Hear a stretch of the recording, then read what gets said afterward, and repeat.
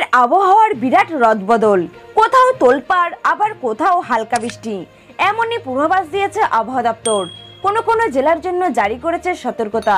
তো কোন কোন জেলায় তোলপাড় হতে চলেছে এবং কোথায় কোথায় হালকা থেকে মাঝারি বৃষ্টির পূর্বাভাস দিয়েছে আবহাওয়া দপ্তর এবং কতদিন পর্যন্ত চলবে বৃষ্টি, তো এরই সম্বন্ধে বিস্তারিত জানতে হলে ভিডিওটি অবশ্যই শেষ পর্যন্ত দেখবেন। ভালো লাগলে একটি লাইক করবেন। তাহলে চলুন বন্ধুরা, এক নজরে দেখে নেওয়া যাক।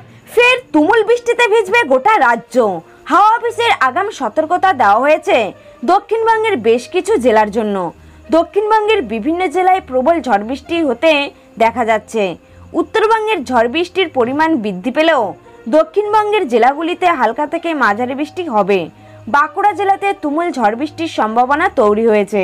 এছাড়া দক্ষিণের অন্যান্য জেলাগুলি যেমন পূর্ব বর্ধমান, পশ্চিম বর্ধমান, পুরুলিয়া উত্তর চব্বিশ পরগনা, দক্ষিণ চব্বিশ পরগনা, হাওড়া, হুগলি, বিভিন্ন জায়গাতেই হালকা থেকে মাঝারি বৃষ্টি হতে পারে। এই মুহূর্তে প্রবল ঝড় বৃষ্টির সম্ভাবনা নেই এই জেলাগুলিতে। পুরুলিয়া জেলাতেও বিক্ষিপ্তভাবে ঝড় বৃষ্টি হতে দেখা যাচ্ছে।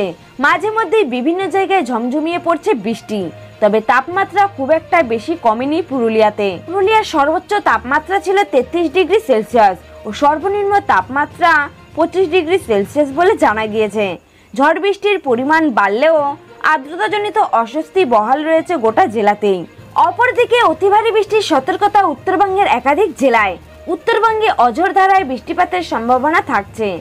আজ জলপাইগুড়ি ও আলিপুরদুয়ারে ভারী বৃষ্টির সম্ভাবনা থাকছে। ইতিমধ্যেই হলুদ সতর্কতা জারি করা হয়েছে আবহাওয়া দপ্তরের তরফে।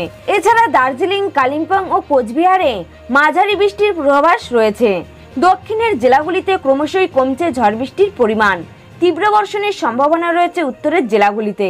শহর কলকাতা সহ শহরতলির আশেপাশের বিভিন্ন এলাকায় হালকা বজ্রবিদ্যুৎ সহ বৃষ্টির সম্ভাবনা থাকছে।